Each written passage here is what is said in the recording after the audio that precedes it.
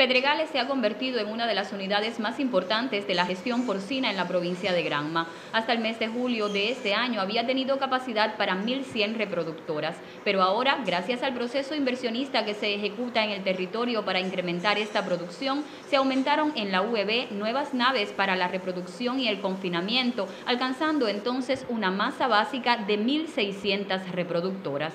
Incide grandemente porque son más más toneladas de carne que se le van a brindar a la población y son más convenios, más cabezas que se van a producir. En vez de producir contra 1.100 porcas que tenemos, estamos produciendo contra 1.600.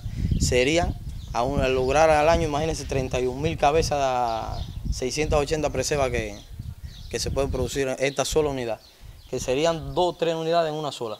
En el primer semestre del año se realizaron en la unidad alrededor de 3.600 partos. A los 33 días de nacido los animales se destetan y a los 42 se incluyen en la venta con un peso promedio de 8 kilogramos. Hasta el momento se han vendido más de 31.600 animales de preseba, respaldando así los convenios porcinos, sobre todo en la capital provincial.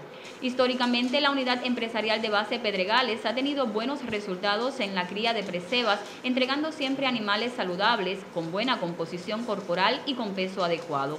El esfuerzo de sus 63 trabajadores hace de esta una verdadera entidad estatal socialista con respuesta de eficiencia y productividad pese a las limitaciones que enfrenta el sector agropecuario. Catiusca León, en directo.